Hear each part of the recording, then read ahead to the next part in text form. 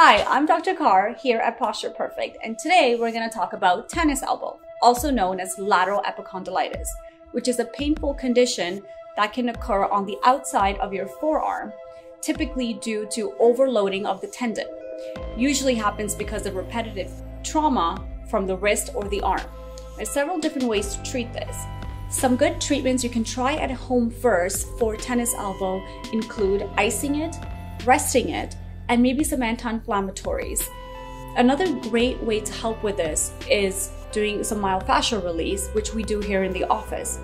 Another condition that can cause pain on the elbow is known as golfer's elbow, also known as medial epicondylitis, which is pain on the inside of the elbow due to overloading the tendons.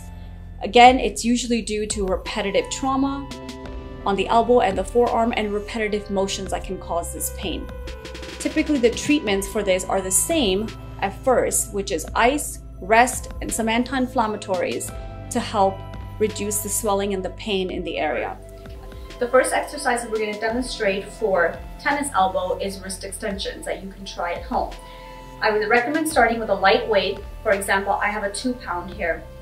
What you're going to do is you're going to extend your arm out all the way, stabilize your arm with your hand, and we're going to do 10 reps of this. So you're slowly extending your wrist out and down. And this is a controlled movement. Do not do it quickly because then it won't do its job. And you can do three sets of this at one time. The second exercise I'm going to demonstrate is wrist supination.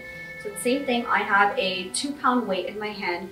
I'm going to bring my arm up, stabilize it with my other hand, and I'm bringing the weight up slowly in a controlled motion and back down.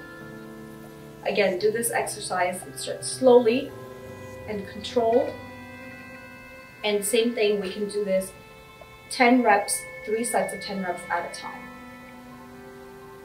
For golfer's elbow, a good stretch or an exercise you can try at home to reduce your pain levels is wrist flexion. So grabbing a small weight, for example, I have a two pound here, and bringing the weight up with your palm facing up.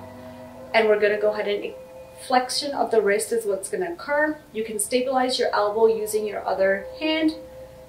And it's a slow and controlled motion again. And doing this 10 times. And you can do three sets of this. Another great stretch to help alleviate some of this pain that you have due to golfer's elbow is wrist extension. So same thing, you're gonna go ahead and bring your arm up, fully extended, bring your hand out, and go ahead and push in with your other hand or extend out, which you should feel a stretch on the inside of your arm here. And you can hold this for five to 10 seconds at a time. If you're suffering from this pain, you can schedule a visit with one of our team members in order to figure out the cause of this pain. Now, some in-office treatments we do offer for tennis elbow or golfer's elbow include myofascial release, class 4 lasers, electrical stim, and ultrasound, which all work really well for these chronic conditions.